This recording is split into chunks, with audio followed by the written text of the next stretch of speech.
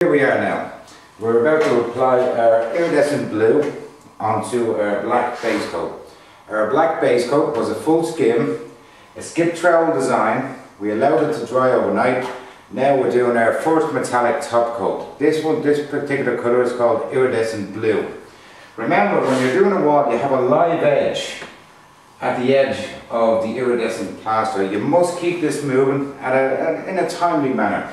Um, if you're doing a long, a tall wall, your live edge will be horizontal.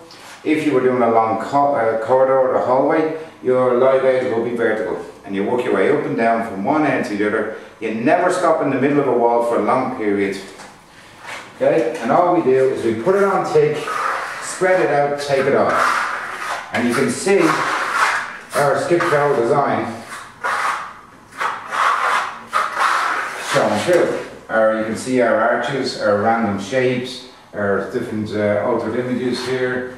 Um, it's nice to have good consistency with your skip trowel design. As you can see, it's uniformed across the wall.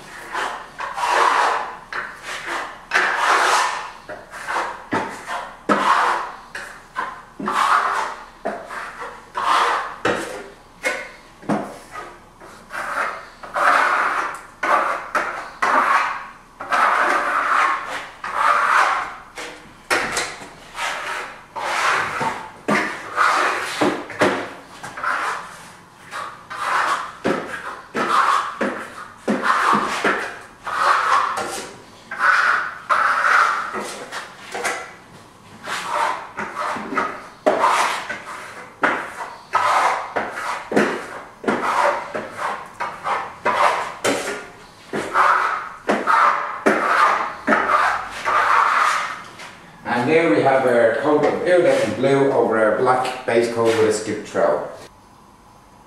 So here we are now.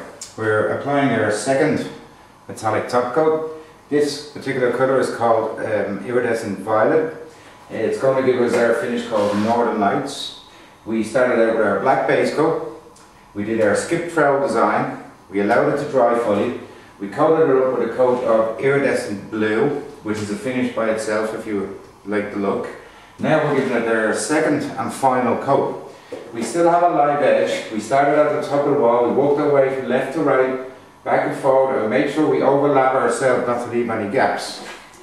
So here we go, you can see it's a very fast process, which is good because you do have a live edge, so you have to be fairly fast with your application. You can see our skip trowel design showing through. We have our iridescent blue showing, we have our iridescent violet.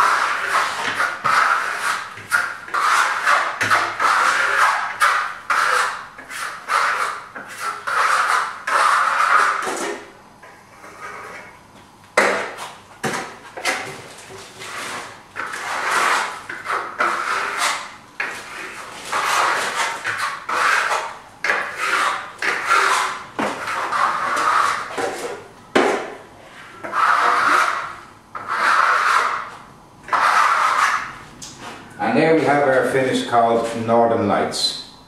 Um, we used iridescent blue and iridescent violet. We also have iridescent gold and iridescent green, which work very, very well together.